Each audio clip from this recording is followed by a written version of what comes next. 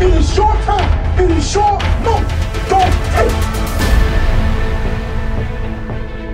Colgate is accustomed to success, so back-to-back losing seasons for the first time in two decades makes a quick rebound a must. Here's the deal with the 2015 Raiders.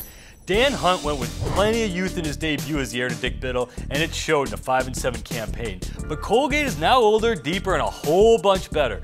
The return of versatile quarterback Jake Melville, along with all of his top backs, the Patriot League's top rushing attack in 2014 should be every bit as strong. However, the Raiders must improve when the ball is in the air, both on offense and defense. They were last in the league in passing last season, and the secondary will miss some of its top playmakers. However, the run defense should be solid.